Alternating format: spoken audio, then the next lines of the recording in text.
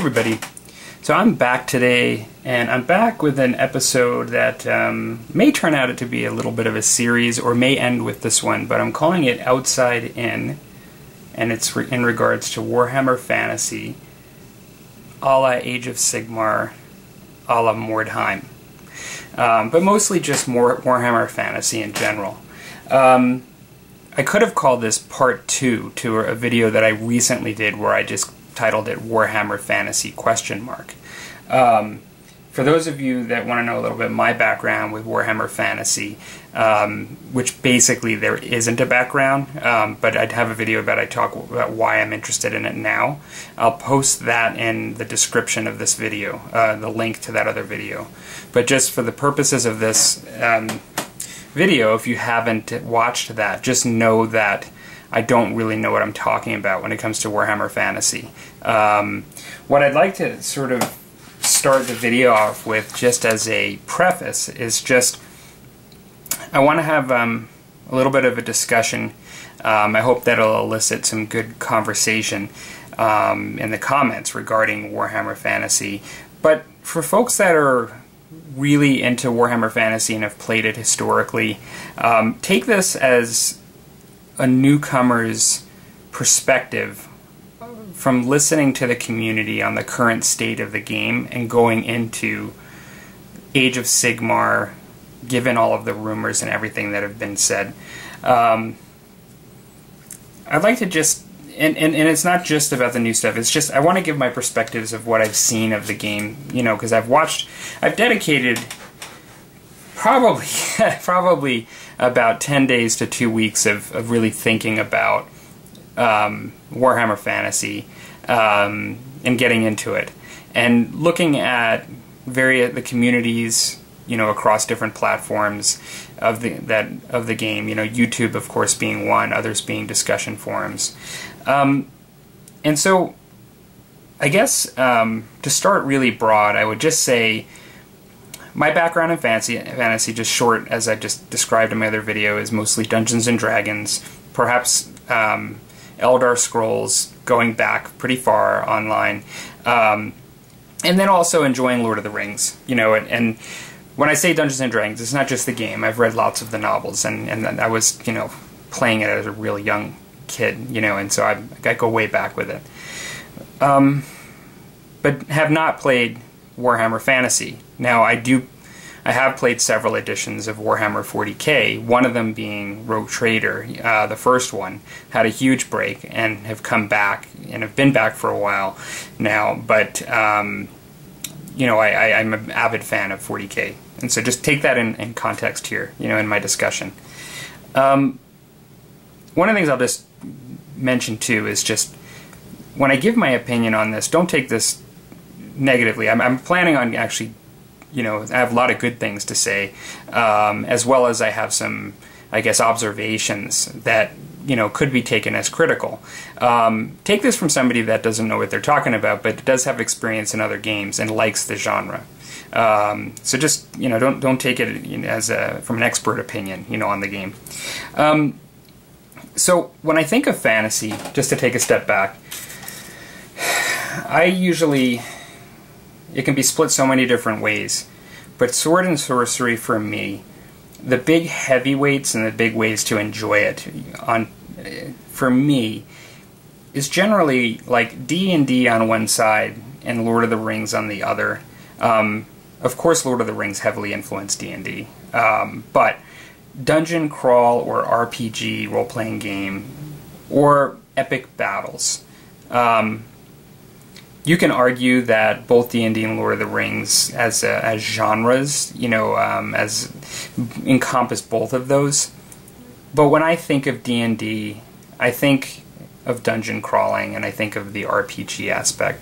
When I think of Lord of the Rings, I think of the epic battles, um, particularly from the scenery. But at the same time, yes, there are lots of moments in Tolkien that are um, close to you know like dungeon crawling or just sort of adventuring that are not epic battles and interpersonal kind of moments between characters and things that, that are beyond that. But let's just take the movie series, just the one that really re- uh, reinvigorated this Lord of the Rings in the last 10 years. And, and its epic battles. I mean, like, that's what so much time was spent on. Um, getting back to Warhammer Fantasy, you know, and coming from that perspective, um, well, I, I, really like um, the RPG, the adventuring aspect. I like the look of the epic battles, but when I think of fantasy, for me, I really like that adventuring feel. Um, you know, whether it be reading the books by, you know, um, Salvatore or, or whatever. I mean, I just really like that. Um, and so I, I come to looking at Warhammer Fantasy from that perspective. Now, so when I first looked at Warhammer Fantasy being played in the regular game, I'll be honest, I, I wasn't really that into it, um, watching it. Um, I guess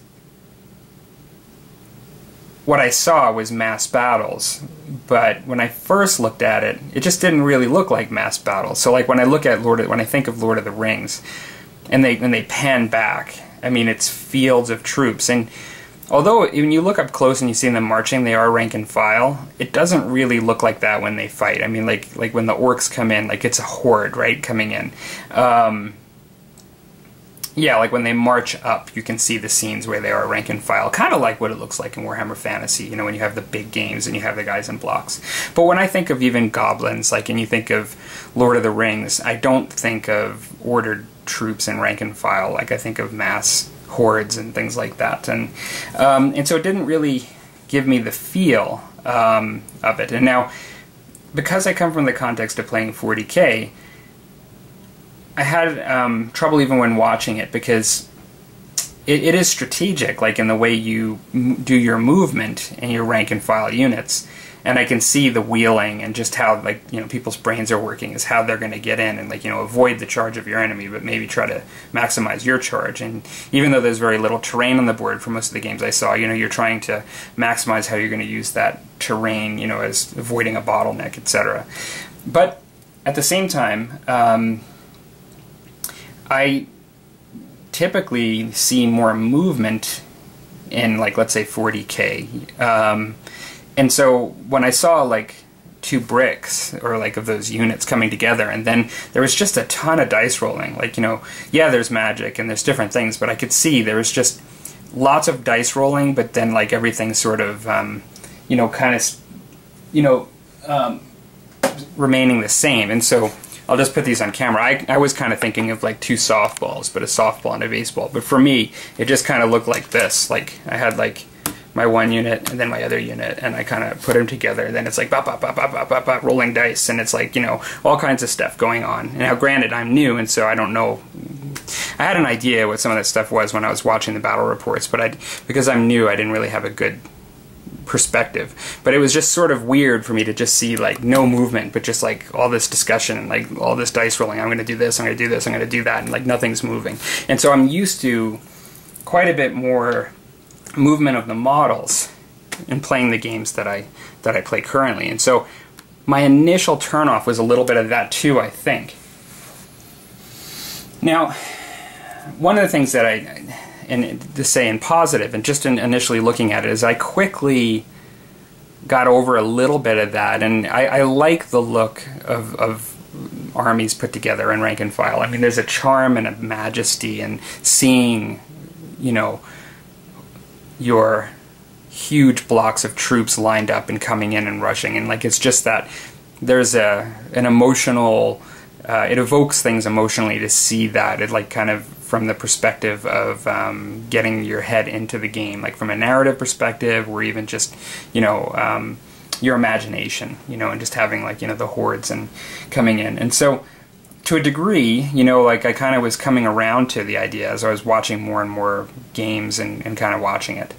Um, and so, that those were sort of my, my initial observations. Now, um, Mordheim initially I really liked it when looking at it and watching games because you know I come from that liking the idea of adventuring and the skirmishing and the small troops that you create and going you know going through the city and having like you know your lord and having different objectives and gaining experience and doing all that just seemed really cool to me. I really really liked it. Um, everything about it just seemed to be great. And but as i watched it more and i thought about it more um, i kind of thought i had two issues with it um, that i might have issues with. One is just terrain in the sense that it's a very specific setting.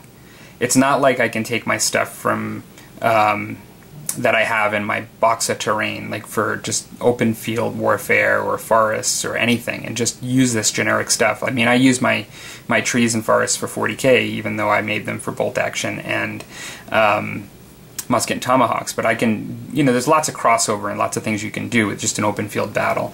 Yeah, like it's always good to make a barn or something like I just did that, you know, wouldn't fit for 40k as much, but would fit really great for historical, you know, and have some things to for the game. But Mordheim is really specific. I mean, you know, like in in the kind of um, board that you need for it.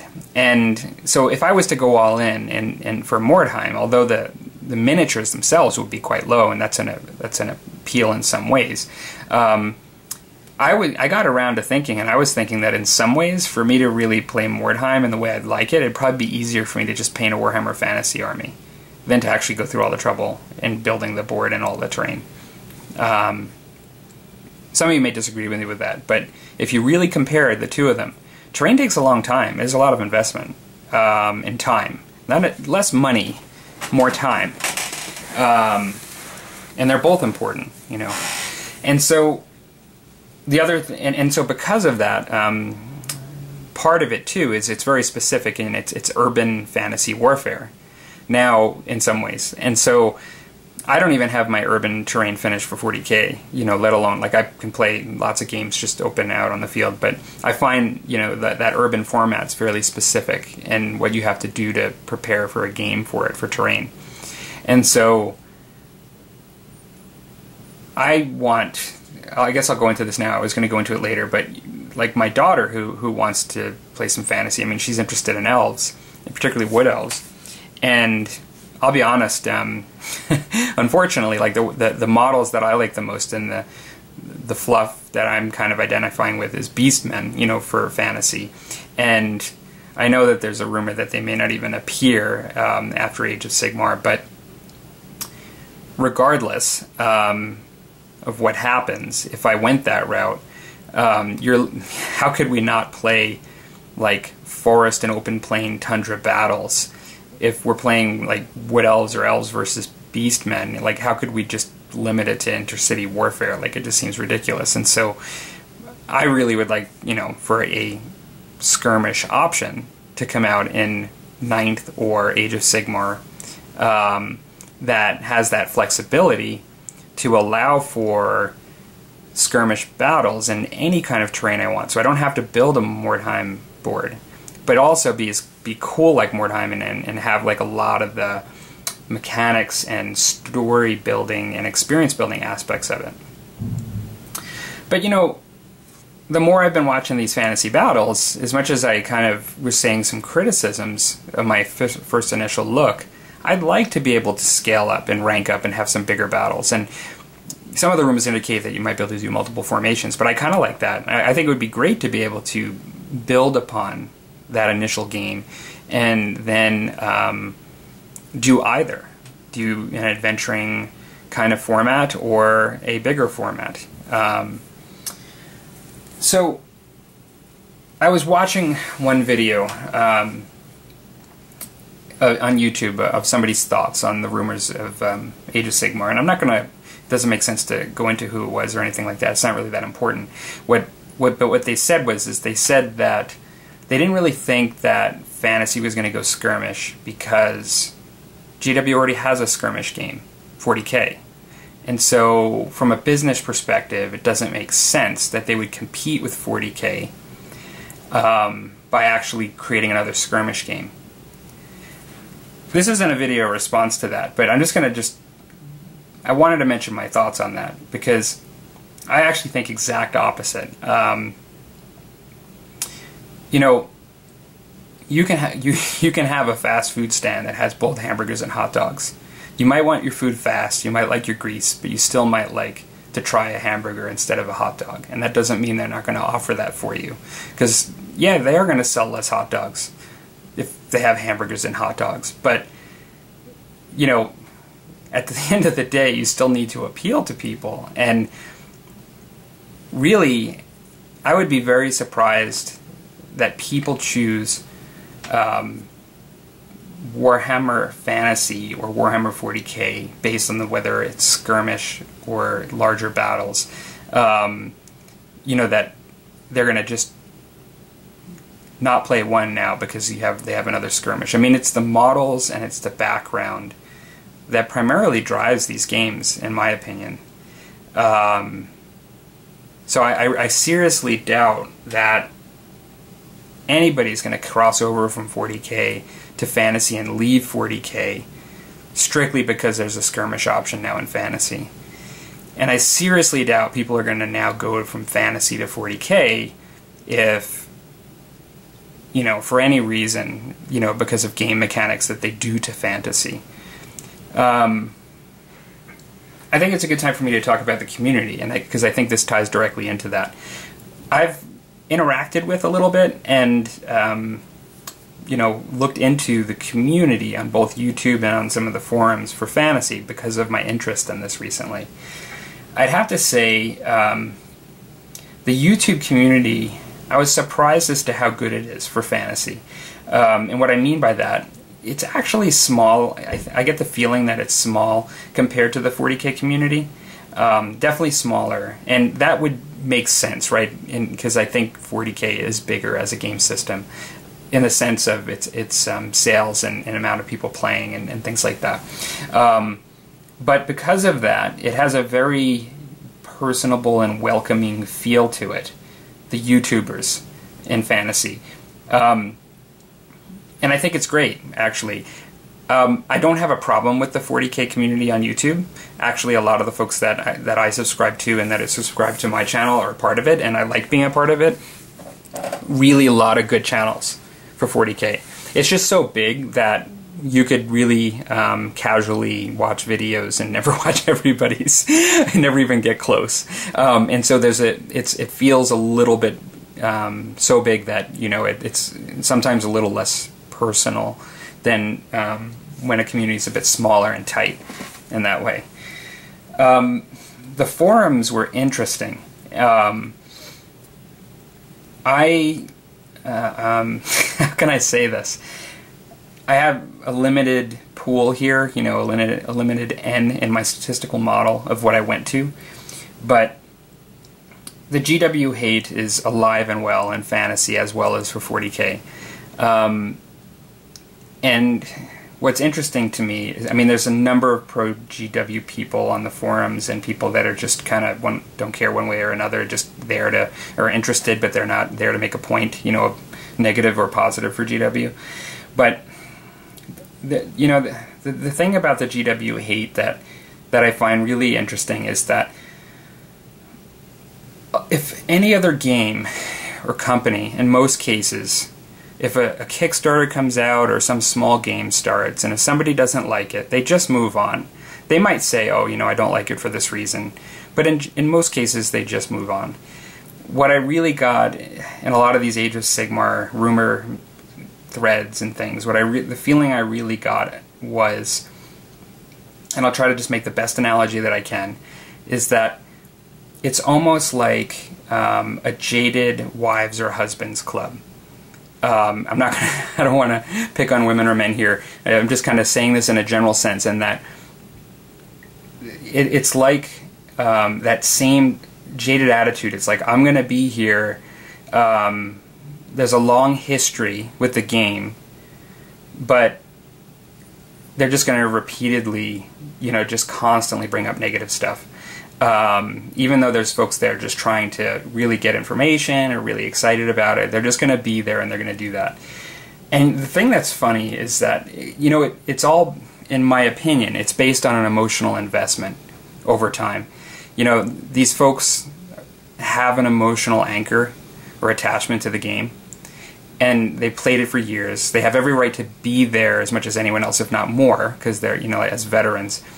But they just um, because of that emotional attachment for whatever disappointments, and I'm not going to say that they're not warranted, you know, to them personally or to a group, but for whatever reason, um, they have that combination where they need to be there and they also need to be jaded about everything. And so it's unfortunate um, because as a new player coming in um, to this game, but I, you know, it, I see it on the 40k side too. So you know, in some ways, it's it's not you know problem of fantasy alone, uh, but it's it's unfortunate because it kind of spoils a lot. Um, you know, I, I, said that thing in the beginning about take thing, take this from somebody that is on the outside looking in, um, somebody that plays other games. Um, you can take it from somebody that's a new player potentially for for Warhammer Fantasy. Um, somebody said, or a number of people have said in repeated places that new players are what drives the, the business market for a game. Now, as you veterans watch this and the hairs come up on the back of your neck, don't, I'm not going there. I'm not trying to say you're not important because I'm actually a veteran of other games. You know, I'm a veteran of 40K. And so when I hear that, it makes the hairs stand up a little bit on the back of my neck too because of how much I invest in the game I like. And I can believe that. I actually can believe from a business sense, short term, you know, uh, public traded company, um, business markers for the next quarter, new players are really important. I, I buy it, you know, and, and I think it's I, I think I believe that.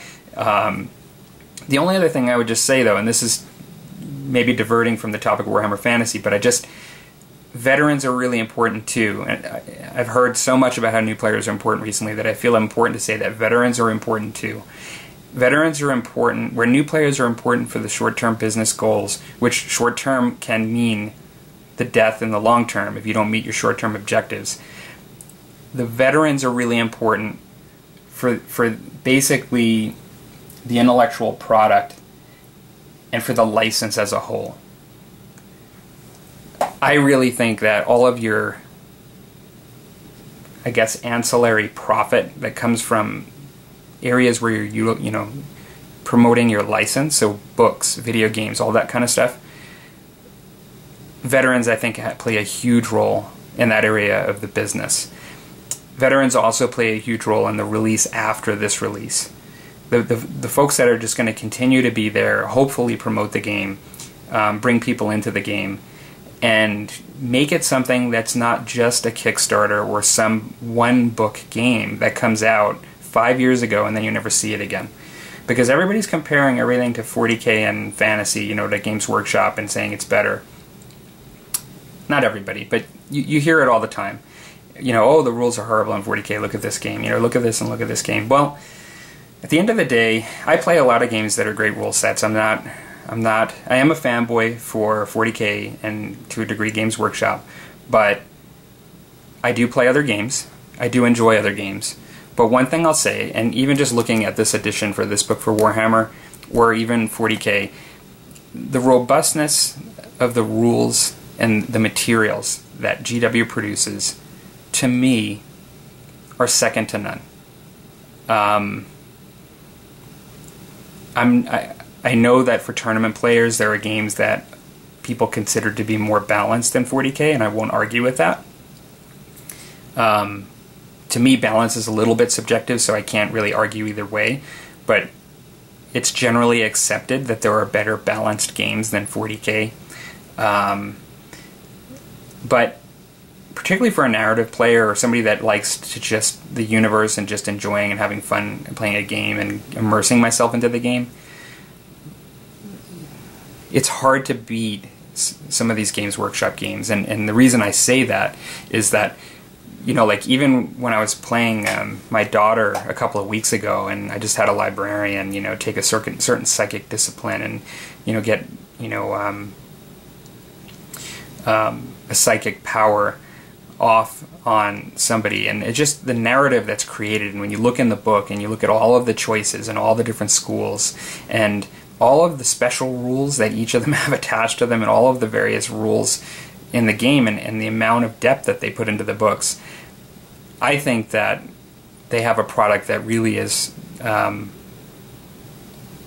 I'm going to say hard to beat. You know, I, I I think there are many companies that beat Games Workshop in certain areas of their games, but when you look at the quality of the models and you go across the whole thing, there's a reason why so many people are emotionally attached to these games, have had a history, and, and why they're the number one still, I think. Um, and so, on that note, and I'm, I'm sure I'm going to get a bit of hate for saying some of that stuff, but you know what? That's the way I feel about it, and and um, I'm open to other games too. Um, I like, but I think when you look at everything as a whole and you look at the overall product, um, I feel justified in, in, in, making that comment. So, um, the last thing is sort of a bit of a, um, a trivial piece here. Um, I guess it's maybe the second last thing. I already mentioned that I wanted to do Beastmen, and so I really hope that Beastmen actually you know, we don't really know. I mean, they say that you're supposed to be able to use every army book in Warhammer 9 going forward. So if I was to play to go out and, and purchase some Beastmen, um, granted that army book I hear is not that great. I primarily play for narrative play, but I do like stuff that's at least usable. And so I'm kind of sitting tight on that. I'm, I'm, not actually planning on buying anything at the moment. I want to see the release. Um, some cool wizard characters and some cool barbarians or marauders or all kinds of stuff like that. That would all be right up my alley too. Um, but for whatever reason, I, I've looked at some of the artwork and and the Beastmen sculpts, and, and that just kind of spoke to me as like, yeah, that, that's where I should go. Um, ideally, that's what I would do. Um, whether I go there or not, I don't know. I, I, really do hope that they don't drop that from the rich background that I'm seeing in the Warhammer game. I think I've taken this if you notice, I've been a little all over the place. I've been a bit scattered in my thoughts on whether to get into this or not. Um, you can see the other video that I did as to why, and part of it is so I can play a fantasy based game with my daughter that will really appeal to both of our liking of um, the storytelling and generating aspect of tabletop gaming. Um, with that said, she's already looking. She likes the idea of big armies. she sees all the models. Um, but I also know that she's really into the fictional aspect of it and the you know the, the story generating feel of playing some of these tabletop games. And so I think I've, I've um, probably said everything I've wanted to say. Um, stuff coming through my mind. I'm interested in everybody else's thoughts. Um, and yeah, you know, like lastly, I would just say that just give give give GW's release a chance.